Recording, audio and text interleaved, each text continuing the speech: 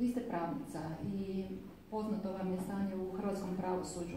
Evo, jučer je izašlo novo izvješće Europske komisije koje ne daje dobru ocjenu Hrvatskoj e, vezano u stanje u pravosuđu.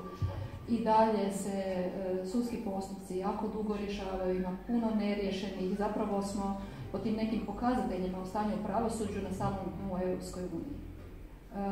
Imate sigurno neko vaše stajalište o tome i vidite li uopće mogućnost da se tu stvari promijene. Evo recimo jedan od e, nedostataka je isto tako e, problem e, ovisnosti sudova.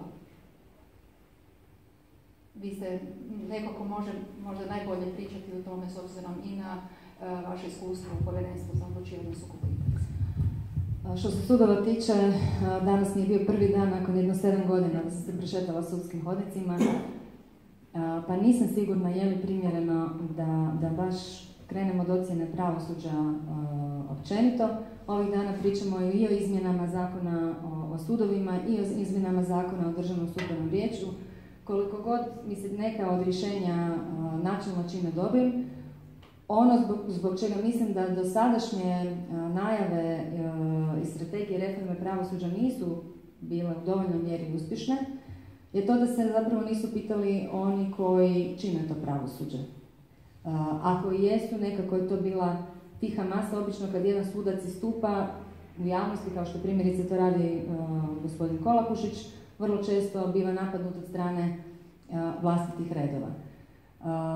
treba osmisliti primjereni način kako od sudskog savjetnika koji se nalazi na toj funkciji pretjerano dugo, bez ikakve perspektive napredovanja, pa do predsjednika sudova, što općinskih, što, što, što viših, treba pitati njih kako oni vide probleme i kako oni vide uh, moguće rješenja. Naravno da ono, kad imate dva pravnika imat ćete 44 mišljenja i možda još nekoliko izdvojenih. Uh, ali treba sve te, sve te misli staviti na jedan papir, vidjeti one koje se ponavljaju pa krenuti od toga. Mislim da je to nedostajalo svim dosadašnjim reformama.